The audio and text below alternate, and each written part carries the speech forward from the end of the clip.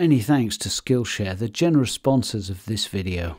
Hello and thanks for joining me for some more landscape photography and today I'm back in the Snowdonia Mountains and I'm climbing the flank of the Glyderau.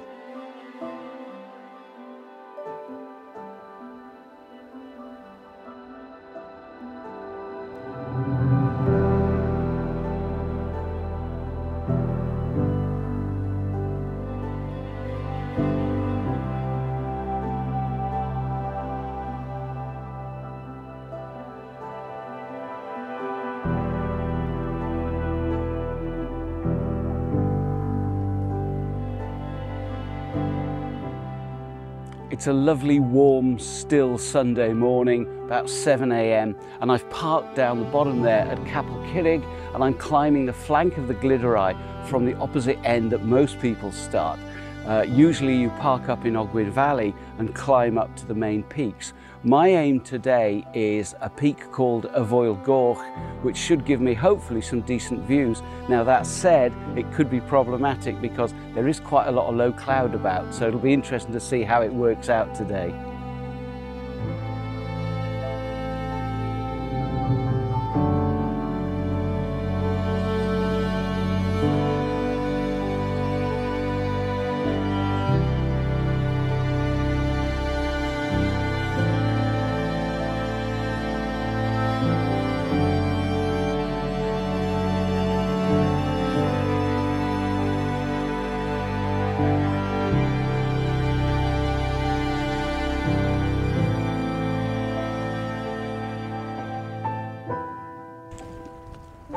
I've been walking for about uh, two hours, um, luckily taking some pictures along the way because as you can see, the cloud base has dropped quite considerably and even though I've got a good way to go yet before I get to the summit that I'm heading for, um, this clag came down about half an hour ago and it's not showing any signs at all of blowing through.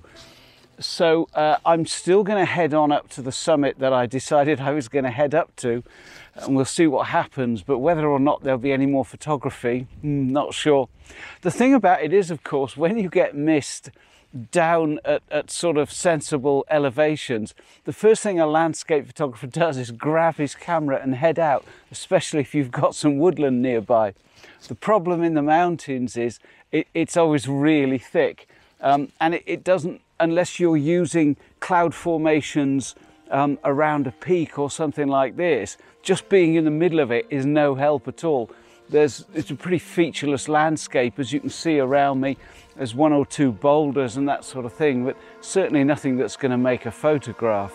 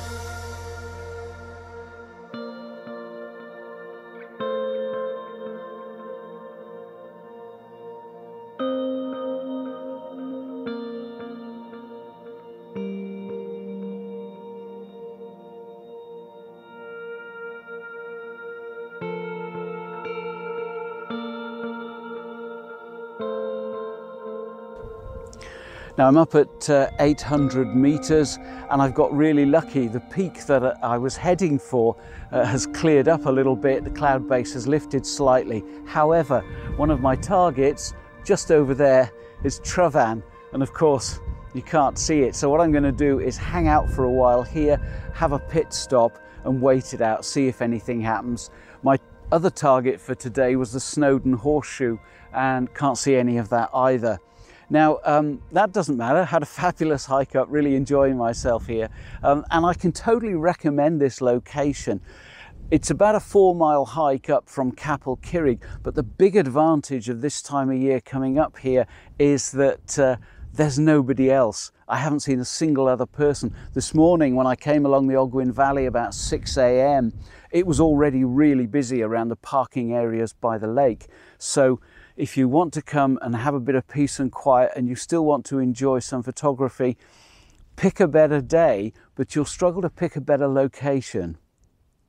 Now, when Skillshare got in touch and said, Would I be interested in them sponsoring a video? I was really flattered because I've been a premium member of Skillshare for quite some time. It's great value for money, and you get access to thousands of creative classes. Now, a Skillshare membership means that you've got full access to everything they have to offer.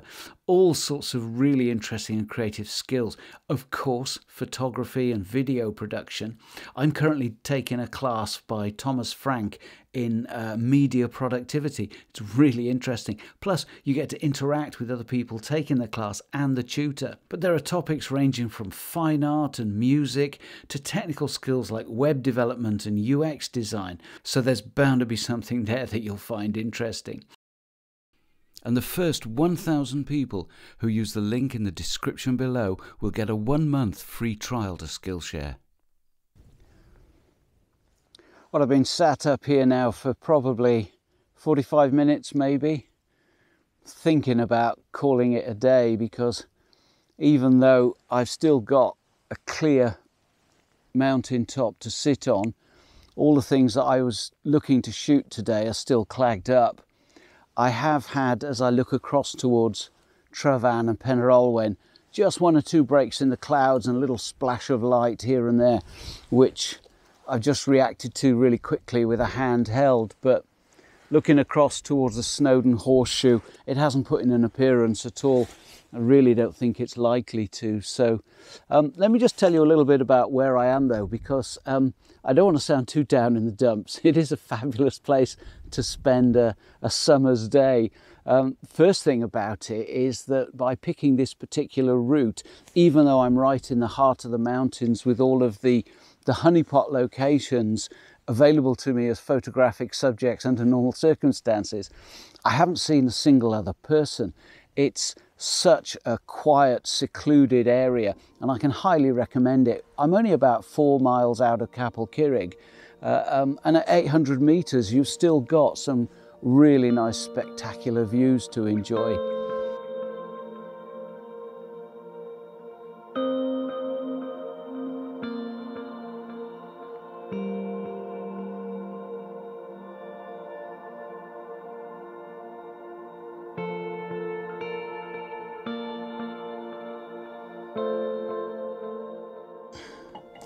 Another lucky break today is that I decided to travel particularly light. Um, recently, uh, all of my video work has been done on this EM3 uh, with a, a full-size gimbal and it's pretty heavy stuff and I just thought I'm gonna sprint up here as quick as I can. yeah, right.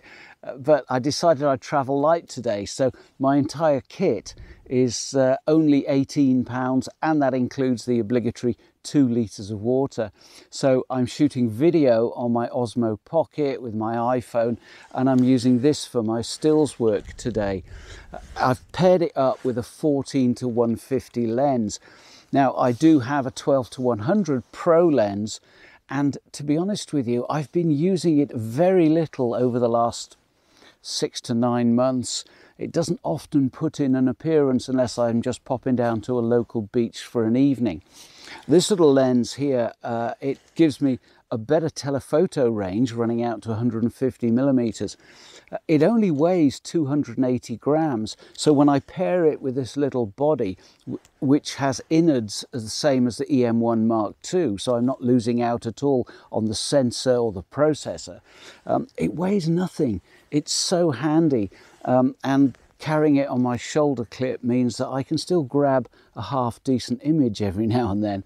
Um, the other lens weighs 560 grams, so that's literally twice the weight of this. I haven't brought any other glass with me at all. I've just got a small pouch with uh, some filters and spare battery. That's it. And had I found myself setting up any photography today and talking you through a shot or two, uh, I don't feel at all that I would be missing out by using such a, a lightweight uh, set of equipment. The most important thing for landscape photography for me, as far as mountain work goes, is actually getting up here in the first place and making it a pleasurable experience. Uh, lugging my gimbal and all the other stuff up with me sometimes is less than pleasurable. And over the last few years, my kit has seemed to get heavier than it really warrants.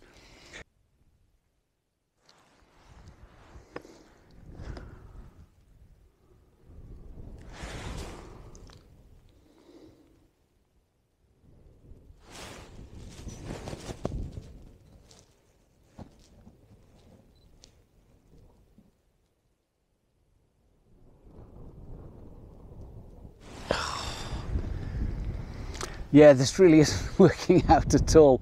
Every so often, the, the two stones, Adam and Eve, on the summit of Tryfan just appear through the clouds as they're blowing through. Uh, and I'm trying to get a close up shot with the whole flank of the mountain underneath it. Oh, here we go, here we go.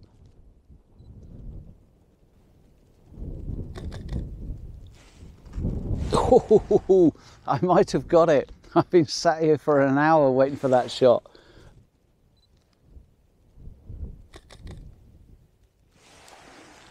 The rock is really spectacular. It's really quite bright. Uh, it's a very pale rock. Um, and so I've got a wisp of cloud just sitting underneath Adam and Eve, which are the, the two stones. And if there's any light at all, that rock really catches the light. But the, the two stones on the summit are, uh, are quite dark and they're silhouetted. I don't know. You might get to see that image, you might not. I'm thinking about heading off. There's certainly no point setting the tripod up because if I did, by the time I got a shot lined up, it's all over. There's nothing to see. Now, before I go, let me just talk you through how I've got this set up uh, for the handheld work that I do as I'm hiking along. The thing about mountain photography, particularly in light like this, uh, and this is pretty standard for the mountains. It's quite common sort of conditions that you might experience if you come to visit. So, um, what I tend to do is as I head out, the first thing I do is, is I dial in an ISO that will get me a shutter speed of about 320th to a 400th of a second. The light overall doesn't really change much uh, on a day like this, that you get the odd splash of bright light on a flank of a mountain, but by and large, um, the overall lighting conditions are pretty standard. So it's not going to change much as I go along. So what I'll tend to do is just save those settings uh, on a custom setting. So when I switch the camera on, it's ready to go. So I'm going to dial in uh, f5.6 for my aperture, ISO 400. Uh, although today it is actually uh, quite a bit brighter than, than you'd get the impression from this video. So uh, I've been using it at 200 today. What that allows me to do is to spend my time framing up the shot. Now, of course, I'm not putting it on a tripod. I spot a splash of light on the flank of a mountain across a valley. Um, what I am looking to do though is the time that I've got with that light available to me is to frame the shot up as best I can so that at least I've got something I can use uh, to make a half decent and interesting photograph. And while I'm doing that, let me just just take this down. So we're now down at thousandth of a second. And you saw there that I'm using a fast burst and it took three exposures and that's because I've also got my bracketing switched on and that takes it at one stop over and under and what I'm after here is that really imposing flank of Tryfan. Do you know what? I might just have pulled it off. Uh, there's a big lump of cloud just coming across in front of it. Yeah. and it's gone. So that's how quick. I mean, I, you know, I didn't stage that. I promise you, I'll show you that image, whether it's any good or not. Um, but that's how quick you've got to react. It's now back in cloud. There's nothing to see. I was looking to get a shot of the Castle of the Winds on uh, Glyder Fach summit and also across at the Snowdon Horseshoe. I can see the lower flanks of uh, Crib Goch from here, uh, but no sign of Snowdon or Lliwedd at all. What a fabulous day though, really enjoying myself. So I think I'm going to head on back down now. Uh, there might be some photography along the way, but I'll check in with you later and let you know how I got on.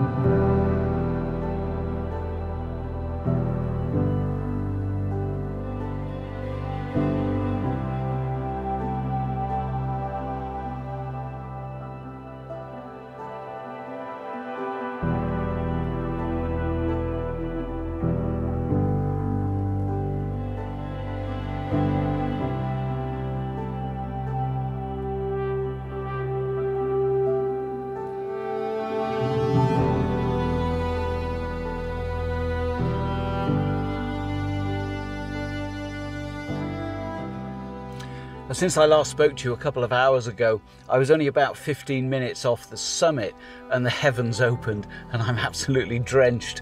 So I wasn't able to easily stop and talk to you on the way down because uh, this little mini video camera isn't at all weather sealed.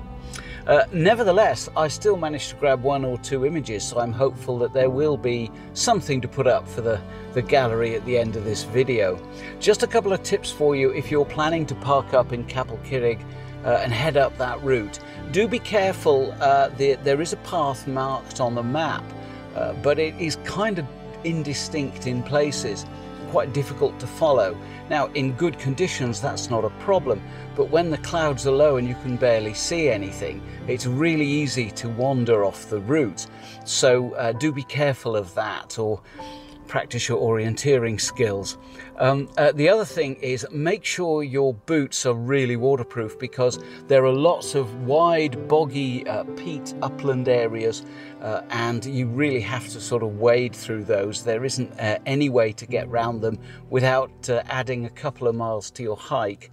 So, with those tips in mind, I hope you've enjoyed this little trip out. Sadly, not as much photography as I would have liked, but I've thoroughly enjoyed myself. Uh, and thank you so much for watching. I uh, hope you've enjoyed it too. And if you have, why not subscribe now? Join me next time. Cheers.